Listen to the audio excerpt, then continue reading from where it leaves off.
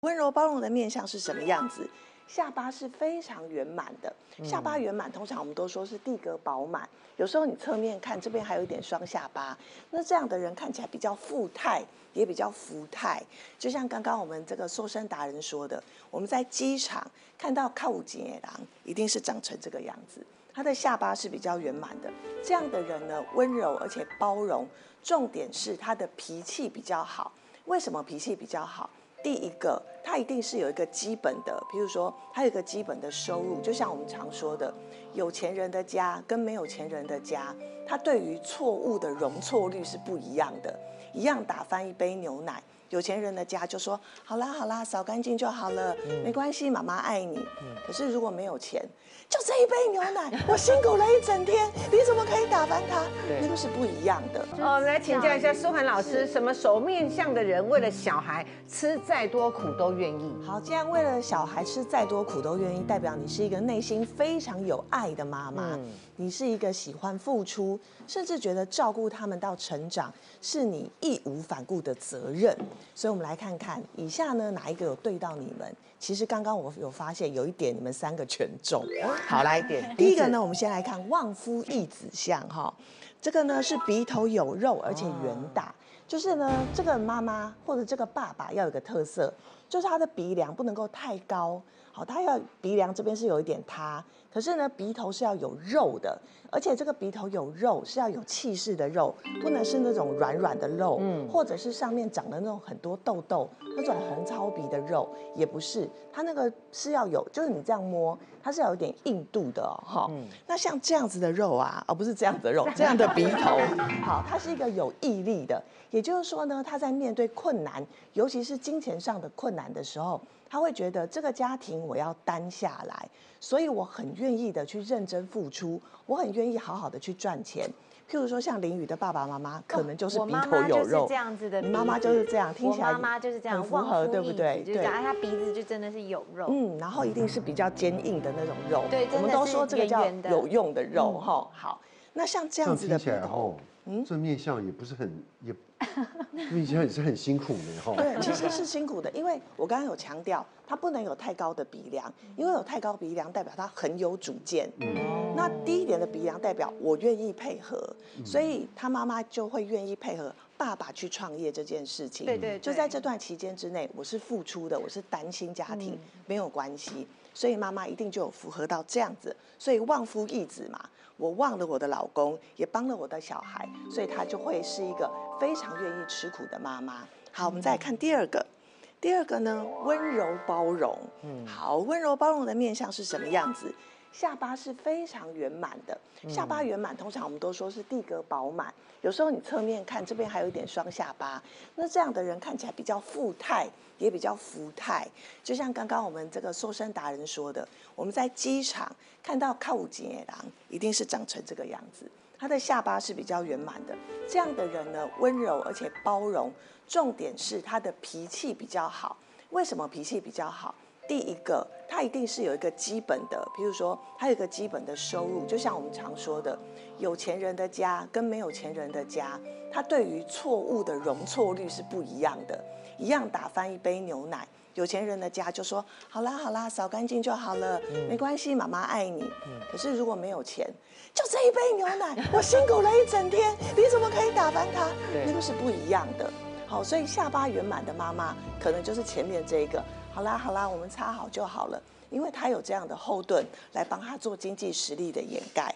还有一个重点是啊，他跟子女的相处也会比较融洽，因为他比较能够把子女的缺点看成优点，就是。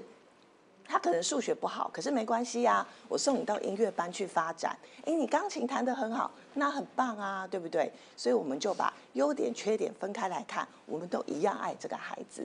再来，我们看第三个，第三个其实我觉得对面这三位全重，好，以家为重，就是呢颧骨饱满，脸色是比较红润的，而且脸型。不是那种三个拉挑，不是那种看起来这边凹那边凹，他的脸型是红好看的哈。那颧骨饱满，脸圆而且红润的，他以家为重，重点是他一心一意的，就是希望这个家更好。就像林宇刚刚说的，我去洗碗，是不是希望这个家更好？那像你说的，我们咪咪说的，我们这样子哇，忙了一堆，是不是很希望家更好？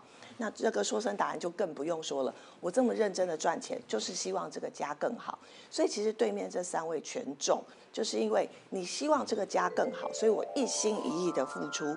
最重要的是啊，你对子女的要求都很难说不哎，嗯，就是就是你们还蛮容易被不是被情绪勒索，就是还蛮容易说别人有，那我也要有，嗯，那好吧，好，就蛮容易跟小孩妥协的。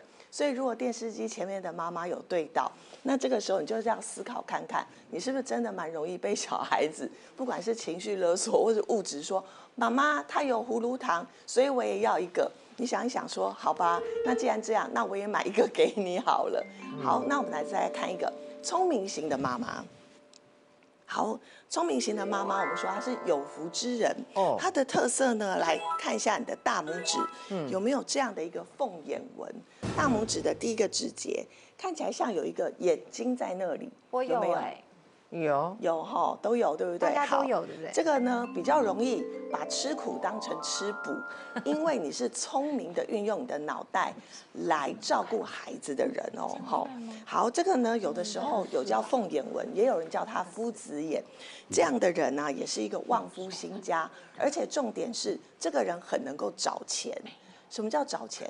哪里可以赚钱我就哪里去，因为我很聪明，我可以闻得到钱的味道。那么，当我在努力赚钱的当下，是不是我就把这个家也撑起来了？那为了要赚钱，我是不是也得辛苦一点？所以呢，也代表就是说，为了小孩吃再多的苦，我都愿意，因为我就是希望这个家能够因为我而发达起来。那么，希望电视机前面不管爸爸或妈妈，你们都有中奖哦。钟老师，嗨，钟老师事业是很成功的塑身达人。对，说可是你也是单亲妈妈，为了顾好事业。你现在有一点后悔，说当年没有把女儿教好，因为我只养一个小孩，所以我是全心全意的在照顾这个小孩。那我希望说，哎，以前我们很穷嘛，那我发现，呃，我常常到那个坐飞机出去，我我发现那个人穷的脸相跟有钱人的脸相完全不一样。哎呦，你说你出国玩的时候？不是不是，因为我常常出国，那时候工作。哦，常常会搭飞机，接触很多人，哎，对。然后我像在机场在等飞机的时候，我会看进进出入的人嘛。啊，而且那个年代出国是不容易的事，所以我发现到说，哇，为什么有钱人的脸相跟我们以前家乡的那种脸相都不一样？我会觉得，嗯，我的小孩我一定要富养，就是说让把他怎样不一样？你看到怎样不一样？其实哈，一个人如果说很没钱的时候，他会担心很多，气场不一样。对，然后他的脸相会有贫穷相，嗯，真的是贫穷相就很那个，你理解点。对，然后暗比较暗沉，然后有一个一个黑的光影这样子。乌云还好不是龙在印堂。哦哦，对，就感觉就看不看？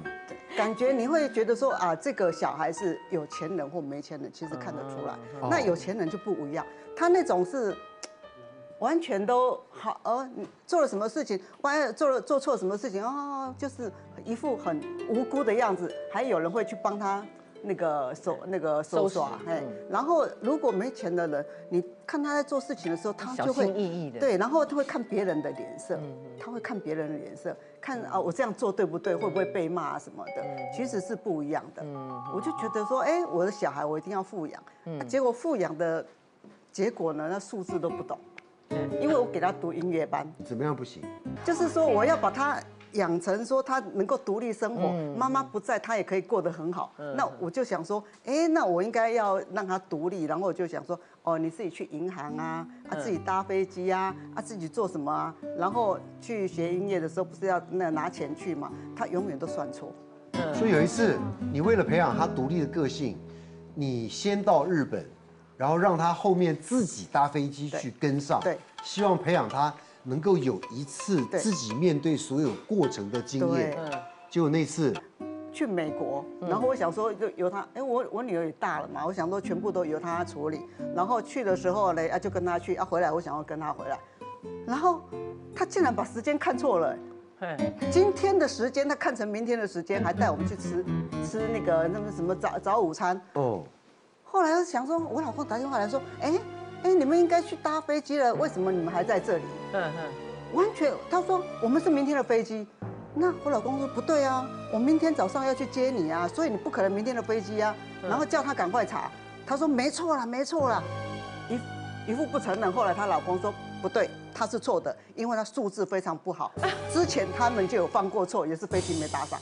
嗯嗯，哦，所以那数字就很差，然后去银行拿七万块给他，我说啊，你你去存钱，让他独立嘛。那时候还小学，然后去的时候，他跟他说这是七十万，那对方想说这应该小孩子不会撒谎啊，对方也 OK 啊。算完之后说这是七万块，他打电话给我，妈妈，这是七万不是七十万。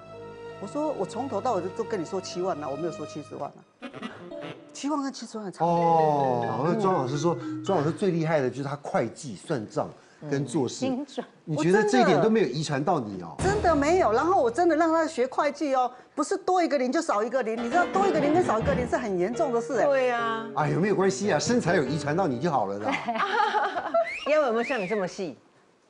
我跟你讲，年轻的时候有，现在养了两个小孩之后没有，就跟他们一样忙翻了。今晚你有空来开房吗？挑战吧大神麻将手游即刻下载。